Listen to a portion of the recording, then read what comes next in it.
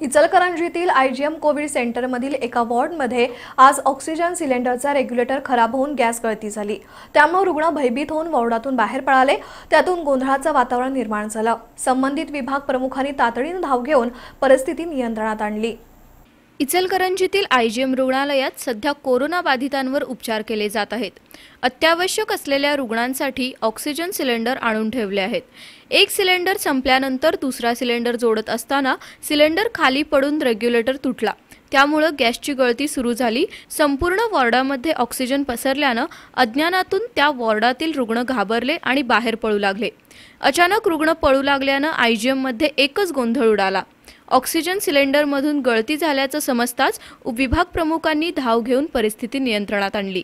त्यानंतर रुग्ण आपापल्या वार्डात परतले पण आरोग्य यंत्रणेसाठी हा एक नवा धडा आहे.